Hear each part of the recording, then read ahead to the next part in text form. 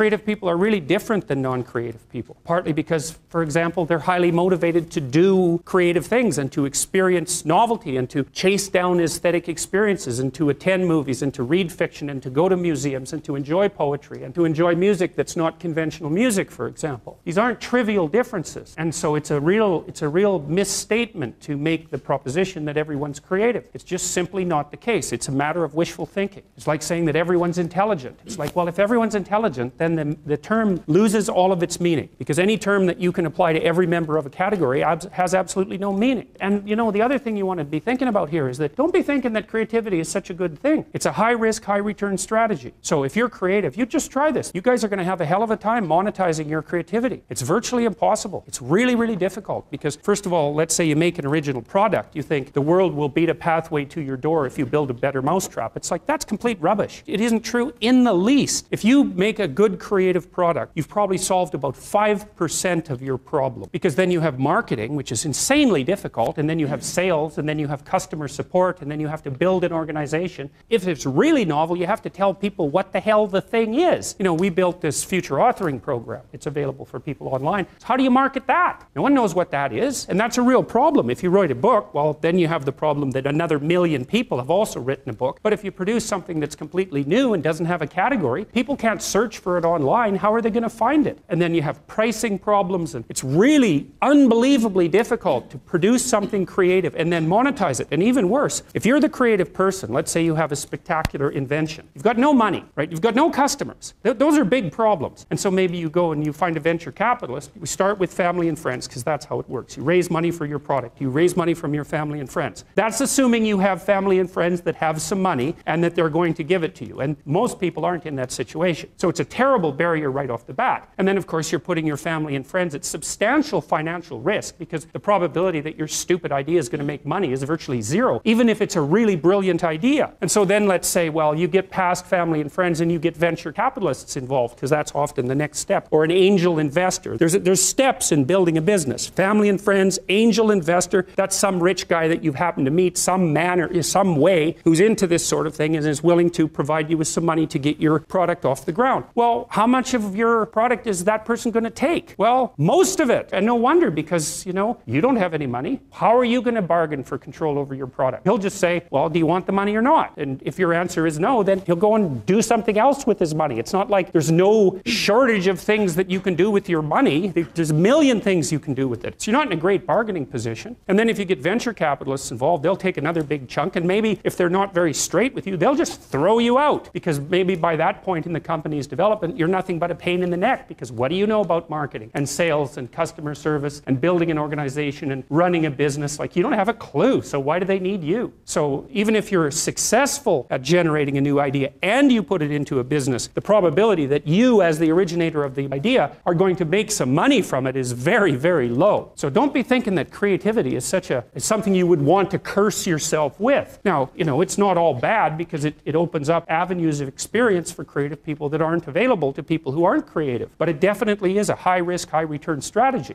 So the overwhelming probability is that you will fail, but a small proportion of creative people succeed spectacularly. And so it's like a lottery in some sense. You're probably going to lose. But if you don't lose, you could win big. And that keeps a lot of creative people going. But also, they don't really have much choice in it because if you're a creative person, you're like a, a fruit tree that's, that's bearing fruit. It's, you don't really have, you can suppress it, but it's very bad for you. You know, the creative people I've worked with is if they're not creative, they're miserable, so they have to do it. And, and you know, there's real joy and, and pleasure in it and psychological utility. But that doesn't necessarily mean that it's an intelligent it's certainly not a conservative strategy for moving forward through life. And you know, whenever I talk to people who are creative, and you, you, guys should listen to this because I know what I'm talking about. If you happen to be creative, if you're a songwriter or another kind of musician or an artist or any of the other number of things that you might be, find a way to make money and then practice your craft on the side because you will starve to death otherwise. Now, some, for some of you, that won't be true, but it's a tiny minority. Your best bet is to find a job that will keep body and soul together and parse off some time that you can pursue your creative thing, because then, as a long term strategy, medium to long term strategy, it's a better one. But it's got incredibly difficult for people, musicians, for example, it's incredibly difficult for new musicians to monetize their craft, even if they're really, really good at it.